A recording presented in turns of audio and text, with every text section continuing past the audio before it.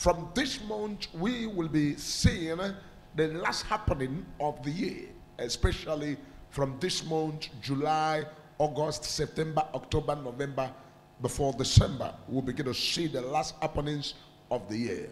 You see, when it comes to God, there's never a month or a year that God does not have budget for his people. God is the creator of the whole universe, the maker of everything that owns all the power, all authority in heaven, on earth, under this earth. They are all in his hands, and he makes use of them the wherever he wants to make use of them. So I want to say to you, wherever you're watching me, congratulations to being part of this very program. This program is made to bless your life. This program is made to favor you. This is a time that God will declare those things that you are believing God for the month. It's a month of your favor. It's a month of launch out. It's a month of gathering all. And the Lord put in my mouth, He said, Tomorrow I'm going to declare and share to the people of God over $100 billion. I don't know how it's going to happen, but God is aware of it all. And God has the final say, and He knows what He definitely wants to do for His people. So tomorrow is going to be a day of spiritual and prophetic upliftment. So wherever you're watching me, get yourself ready because God has counted you as among the people that must be blessed by the Lord. Because the wild wind is going to blow, and in the realm of the spirit, things will happen that will propel the blessings that God is prepared for His people to enter into their heads. I'm not going to be operating on my power. I'm not going to be operating on my strength.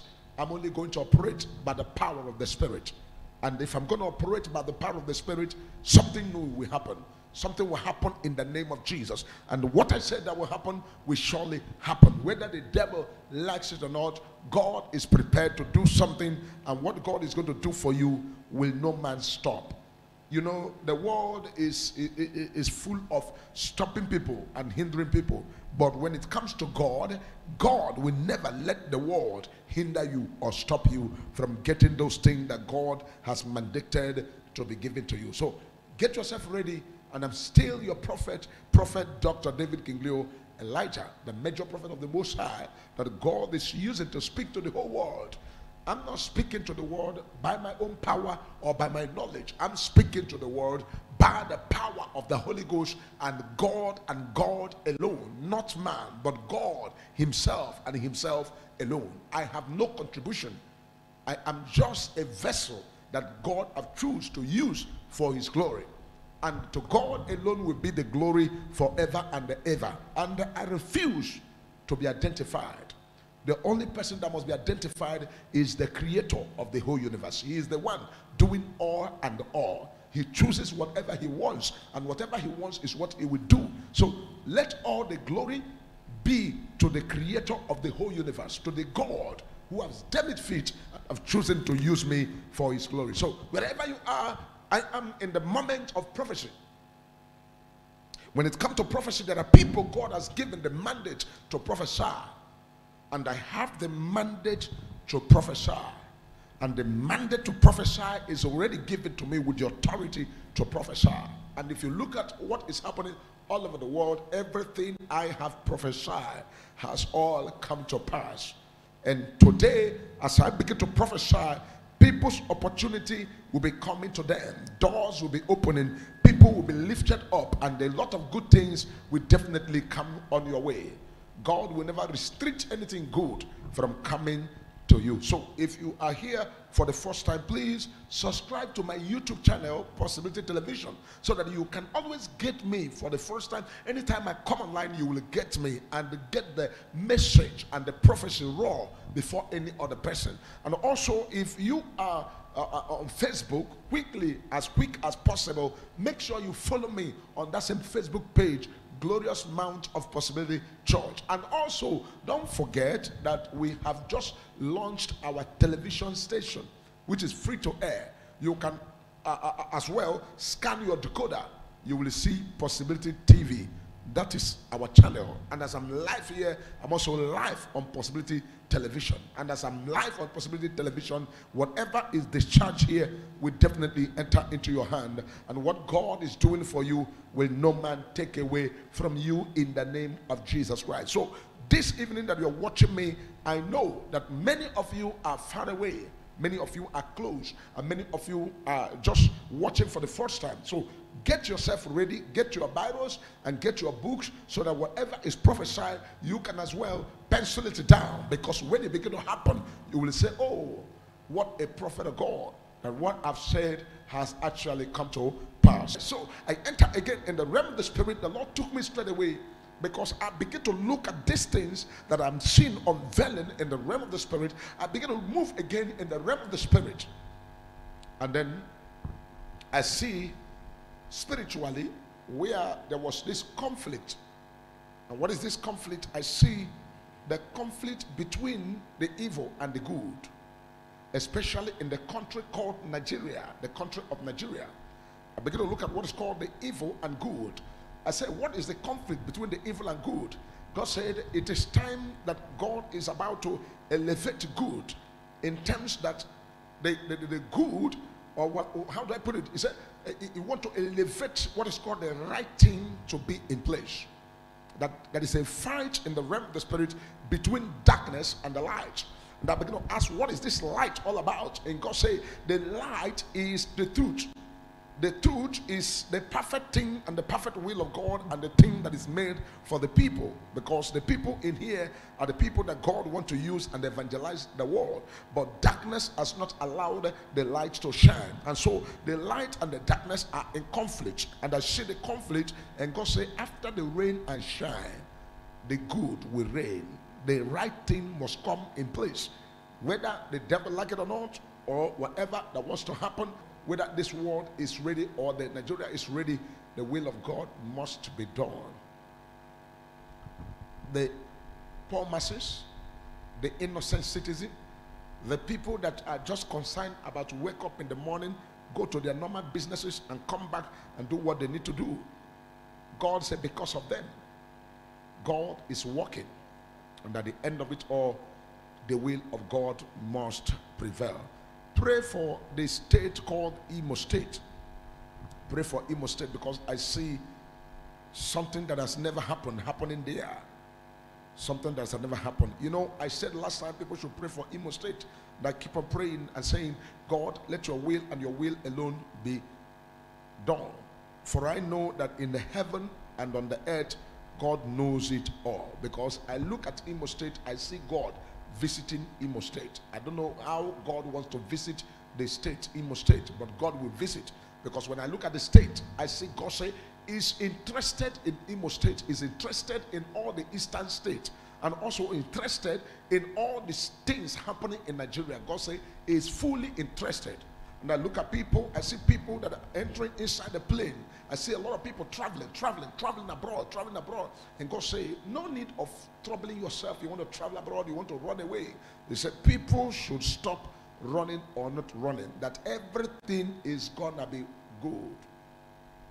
Everything is gonna be good. The will of God will prevail. Even in the midst of darkness, the will of God will surely prevail because God is in heaven and God is not a man. The will of God will prevail in the church, the will of God will prevail in the country and everywhere, and the right thing must be the way it ought to be because there is God in heaven that is called the most powerful God. And then God said, everybody should begin to change, especially the people that has wickedness. Drop your wickedness because wickedness will never pay anybody. Wickedness is not good for anybody. And wickedness is not good for any country. Wickedness is not good for any individual. Wickedness belittle people. Wickedness reduces people. Wickedness destroys people. But when it comes to righteousness, righteousness exalts a nation. Righteousness exalts the people. And what is the righteousness? Righteousness is fair to fellow human being. The righteousness is regard your brother, your sister, your people as you regard yourself. That is righteousness. And that one continue. And the Lord begin to open my eyes in the realm of the spirit. I begin to see the light of God shining from the east the light begin to shine and i see the, the, the, rising of the sun and i see something happening to the glory of god and at the end of it all the name of the lord become praised forever and ever And the Lord said, Lamentation. Lamentation. I begin to ask, What is lamentation? God said, The cry, cry of the people, cry of the innocent, cry has come to his ear. God is going to help us. God is going to step in. Let not your heart be troubled. Wherever you are, believe in God, trust in God, have hope that God is not tired. God is still very much interested. And nothing happens behind God. Anything that must happen must happen with God's consent. God is aware of everything. To the name of the Lord must be the glory forever. For God will never fold his hands and allow his people to perish. We are not going to perish. God is going to stand and deliver his children. God is going to deliver you. God is going to set you free. God is going to defend you. God is going to fight for you. And God is going to liberate you. And God is going to give hope. And God is going to open the door. And God is going to elevate these children. That's what is called spiritual elevation. The spiritual elevation is that God is going to take us beyond our imagination, beyond our thinking, and beyond our thought. And when God begins to take us beyond our thinking, our thought, He's taking us higher, higher. All that God needs from you is faith. All that God needs from you is belief. All that God needs from you is trust and obey. Trust God and obey God. When you trust Him and obey God, He will not forsake you. The Lord God Almighty asked me a question because when I enter into the realm of the Spirit, I begin to look at everything that is happening everywhere and my heart begin to melt. God said, No, let not your heart melt. And I asked why. He said, Let not your heart be troubled. He said, I am the I am. I am the beginning and I am the end. He said, I am the lion of the tribe of Judah. He said, I made the heavens and I made the earth. He said, the heart of everyone is right in his hands.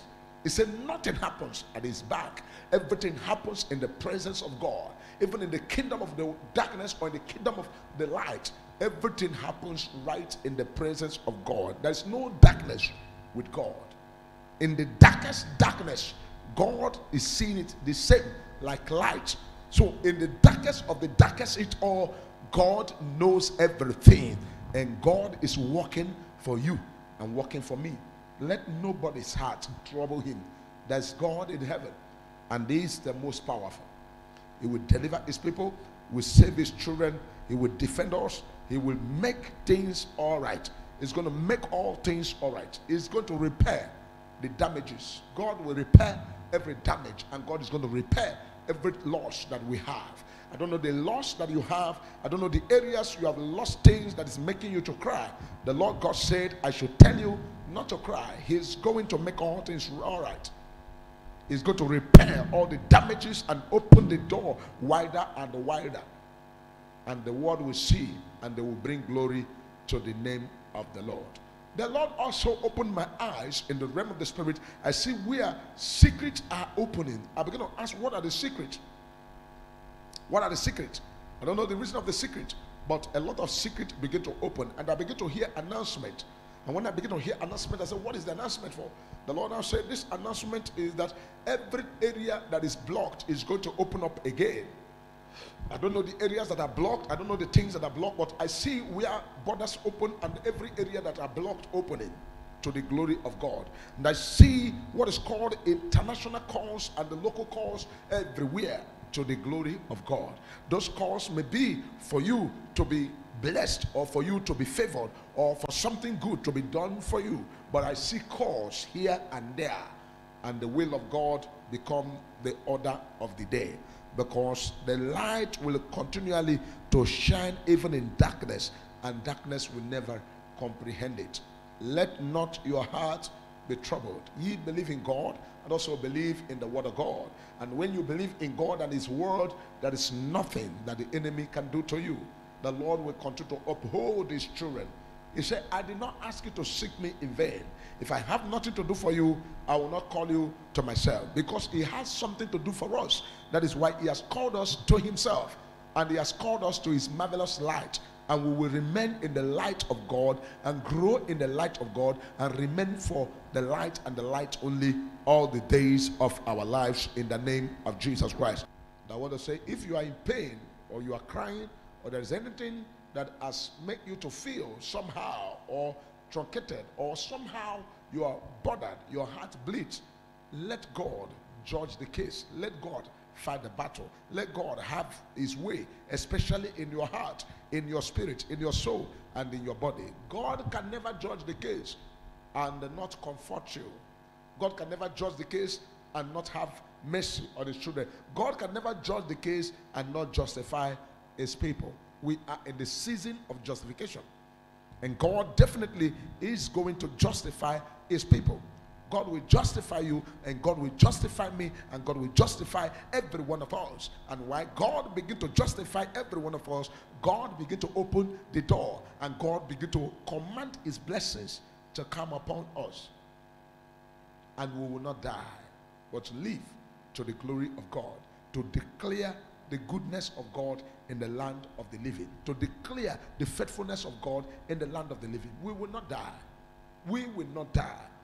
And I want to tell you, there is what is called in the realm of the spirit spiritual intervention. Heaven is intervening in every matter that concerns you. Because in the realm of the spirit, the Lord opened my eyes and I begin to see people in the fear of death begin to run elter skelter. And I said, Where are these people running to? And God says, Some of these people are running to slavery. I will never be a slave. This is why I wrote a song. I said, I will never, never be a slave again.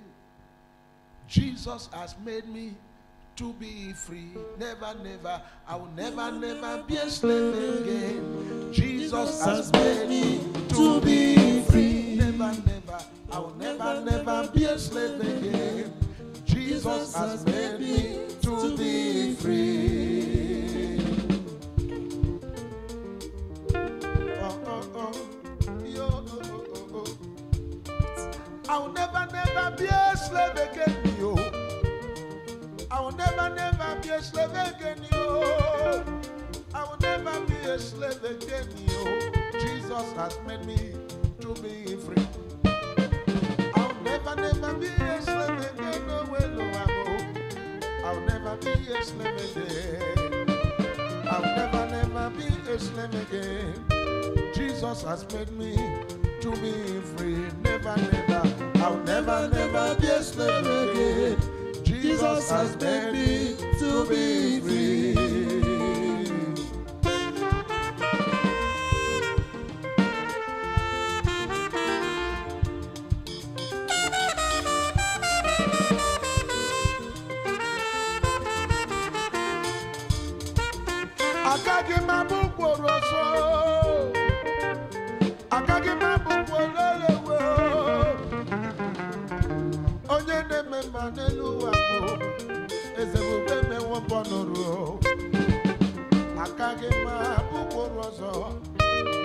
Jizọs emewo ka mbọ nụrụ.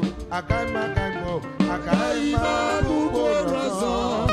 Jizọs emewo ka mbọ nụrụ. Agaghị m agaghị m agaghị m mkpụrụ ọzọ. Jizọs emewo ka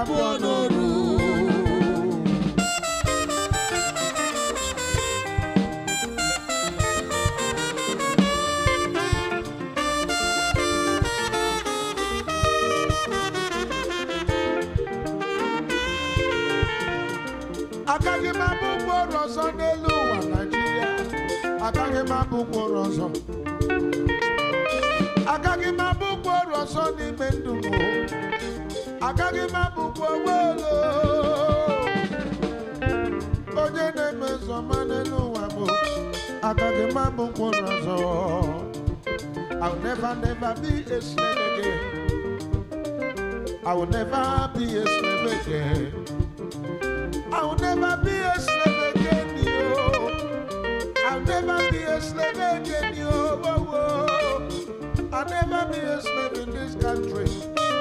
I will never be a slave again. I will never be a slave again. Jesus has made me to be free. Never, never. I'll never, never be a slave again. Jesus has made me to be free. Never. Never, has made me